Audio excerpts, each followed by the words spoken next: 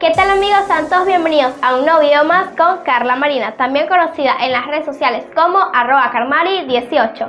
Llevo casi dos años grabando videos, para los que me conocen, sabe que llevo dos años casi en este mundo de la comunicación y les voy a dar unas recomendaciones si quieren hacer sus propios videos o comunicar a través de las redes sociales.